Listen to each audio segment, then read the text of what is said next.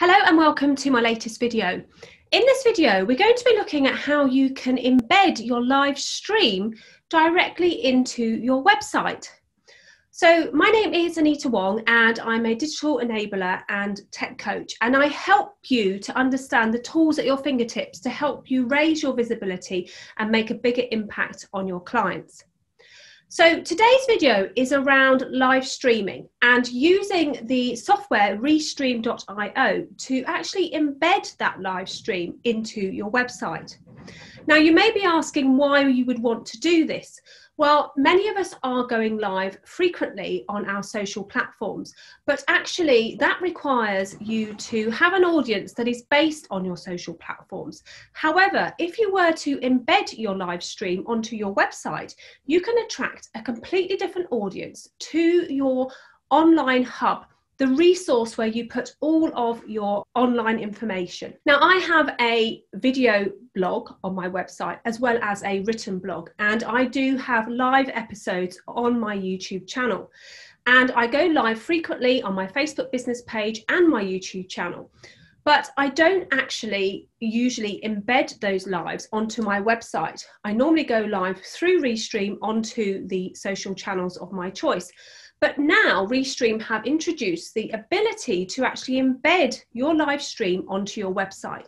So in this video, I'm going to actually show you how to grab the code from within the Restream software and place that into your WordPress website.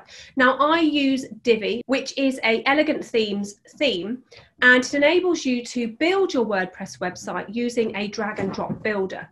So for the purpose of this particular training, we'll be using the Divi code widget inside of your WordPress website, but you can actually embed this code into any code area or if you don't have a drag and drop website, you could use the editor area within your text module. So the easiest way for me to really explain to you and show you how to do this is to dive right into my website for you. So here we are on my WordPress website. My website is anitawong.co.uk and I have a live stream page. So basically, whenever I go live on my YouTube and my Facebook page, I have all of those videos, the past episodes on here where you can watch them, you can read the content, and you can refer back to them. And these have been embedded from my YouTube channel onto my website. It helps raise more visibility around those videos. However, what I've also done is to embed my Restream live studio onto my website so that people can actually watch my live stream in real time. So I can actually direct my audience and my followers to this page on my website so that when they watch this video, they'll watch it in real time. And then there'll also be on a place on my website where they can go and look at how I can help them. They can look at my free communities and they can also look at my courses and my free downloads. So the first stage you need to do is to log into your website like I have here and go to the page in question. Now for Divi, all that's needed to do is to enable your visual builder. So you go ahead and click your visual builder. This is going to open up the admin area of your website. And then you need to go to the area where you would like to embed the widget. So here I have my live stream. So if I were to put this underneath, what I would do is I would create a new section. So go ahead and create your new section by clicking the plus, and we're going to have our regular section. Then you're going to have to decide what you would like your rows to look like. On mine, I've put my Restream embedded studio into the center. So you can scroll down and grab one of these like so. Then it's going to ask you which module you want to use. So we're going to use the code module for this purpose. So go down and write code.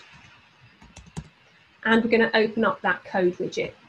Now we need to put the code from our Restream software into here. So to find that, what we need to do is go to Restream. So it's restream.io. If you haven't already got a account with Restream, you can sign up for free and I will put the link for you underneath this video. Once inside the Restream software, you just need to go to these three little dots on the left inside the menu. Go down to settings And in the settings area, we have what's known as a widget. So you're going to click on the widget and here it allows you to add a Restream widget onto your website and give the ability to choose platforms to your audience. So we're going to go for the medium. So it's 640 by 396. That's quite a nice size for people to watch your videos. Now, as you can see, when your stream is offline, it will be a blank box like so. And the channels that will be shown are the channels that you've activated inside your destinations. All that's left to do is to grab this piece of code and go back to your website and place that code into the box. Click OK and then drag this widget into the center. By placing the widget in the center, it's going to allow you to see that you've got it in the center here. If we change the configuration a little bit, it's going to bring it into the center, which is much better. So now we have our live stream window ready for when we live stream inside our restream.io editor. So all that's left to do now is to click the buttons at the bottom and save the area that you've just updated. Exit the visual builder and this is going to show you that there we are, we've just popped our live stream into here. In order for you to control what's shown on this live stream window, you do need to go back into your Restream account and go over to where it says destinations. When you click on the destinations tab, as you can see, I have my Facebook challenge group open. If I were to untick that and tick my Facebook business page and my YouTube channel, and go back to my live studio inside my website and refresh my page, you can see that now the YouTube icon and the Facebook business page icon have been highlighted. And it's saying to follow these channels to get notified when you go live. So that's all you have to do to embed your live stream onto your website. So the next time you go live, not only will you be live streaming to your Facebook business page, your YouTube account, perhaps your Twitter account, or even LinkedIn. You will also be taking that stream onto your website for your website visitors to see your live stream as well. If you have any questions whatsoever about this video and embedding the live stream window onto your website, don't hesitate to pop your questions in the comments below this video.